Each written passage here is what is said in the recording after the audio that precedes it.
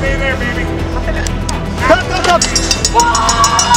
The fight between Lito and Jarred uh, affected me emotionally. Lito is my brother. Who's the boss now?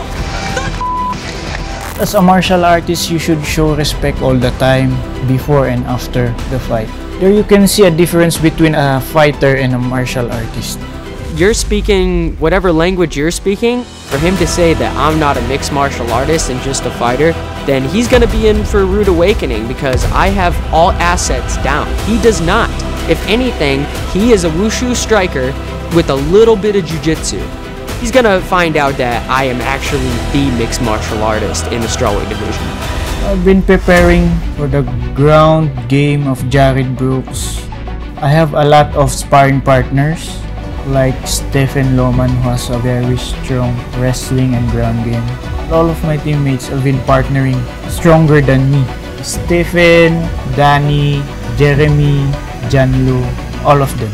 Okay, Josh, how many wrestlers are you going against in your camp? How many people are you gonna have to fly out to actually mock me? I don't think you're gonna get too many people like that. Who do you have? Lito Adiwang, he has an ACL surgery.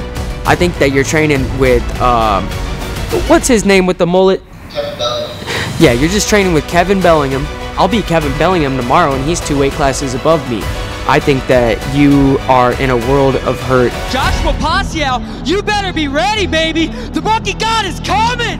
I feel bad for Jarred Brooks that he needs to do that trash talk to make name for himself.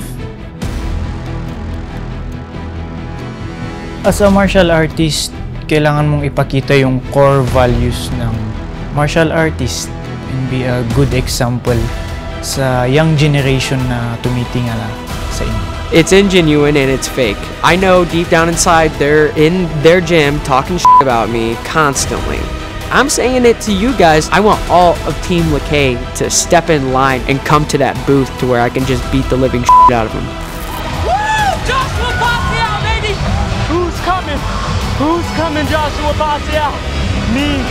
That's me, baby. Pinapanood lang ng tao si Jared Brooks kasi gusto nila siyang makitang matalo.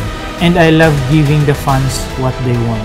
I'm making people love you, Josh. Thank me for that. But at the end of the day, they're gonna love me when I knock you out. Don't forget that I am the world champion here and he never faced somebody like me.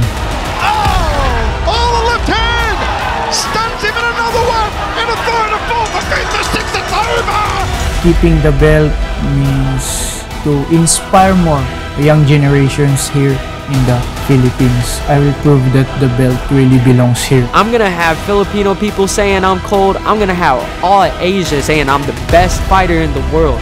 And that comes from straight American muscle. And that's what we're bringing.